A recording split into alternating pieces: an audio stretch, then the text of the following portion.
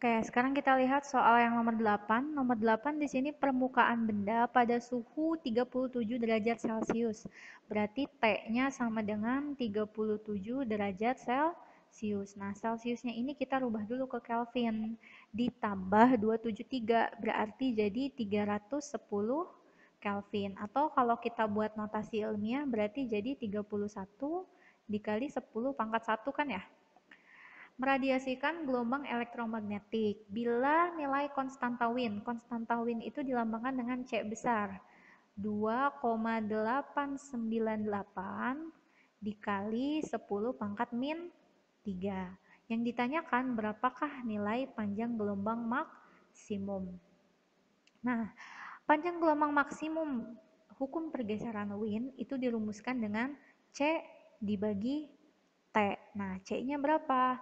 C-nya 2,898 dikali 10 pangkat min 3 dibagi suhunya 31 dikali 10 pangkat 1. Nah, ini kita bagi.